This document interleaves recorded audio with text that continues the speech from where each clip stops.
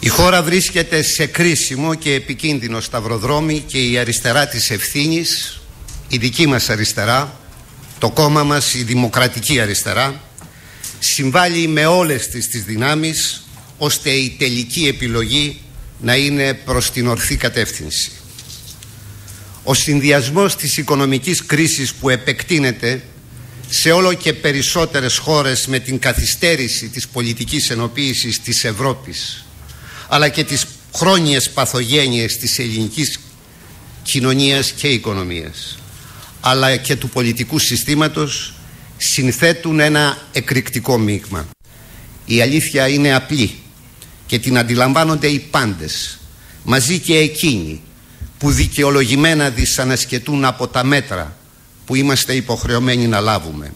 Χωρίς την δημοκρατική αριστερά καμιά κυβέρνηση δεν μπορούσε να σχηματιστεί και η χώρα θα έπεφτε σε κατάσταση άτακτης χρεοκοπίας όπου αυτά που περνάμε σήμερα και αυτά που φοβόμαστε για το αύριο θα μοιάζουν με χάδι μπροστά σε αυτά που θα συνέβαινε.